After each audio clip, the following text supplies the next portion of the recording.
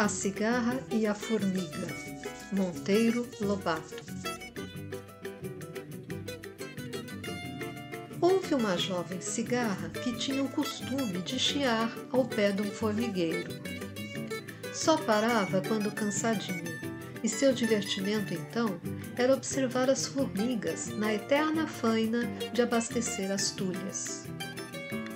Mas o bom tempo, afinal, passou e vieram as chuvas. Os animais, todos arrepiados, passavam o dia cochilando nas tocas. A pobre cigarra, sem abrigo e seu galinho seco e em grandes apuros, deliberou socorrer-se de alguém. Manquitolando, uma asa a arrastar, lá se dirigiu para o formigueiro. Bateu. Tic, tic, tic. Aparece uma formiga friorenta embrulhada no chalinho de paina que quer? perguntou, examinando a triste mendiga suja de lama e a tossir. Venho em busca de agasalho. O mau tempo não cessa e eu. A formiga olhou-a de alto a baixo. E o que fez durante o bom tempo que não construiu sua casa? A pobre cigarra, toda tremendo, respondeu depois de um acesso de tosse.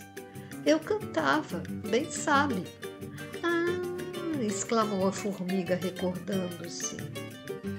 Era você então quem cantava nessa árvore enquanto nós labutávamos para encher as tulhas? Isso mesmo, era eu. Pois entre, amiguinha, nunca podemos esquecer as boas horas que sua cantoria nos proporcionou.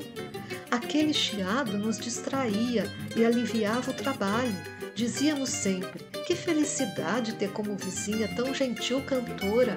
Entre, amiga, que aqui terá cama e mesa durante todo o mau tempo. A cigarra entrou, sarou da tosse e voltou a ser a alegre cantora dos dias de sol.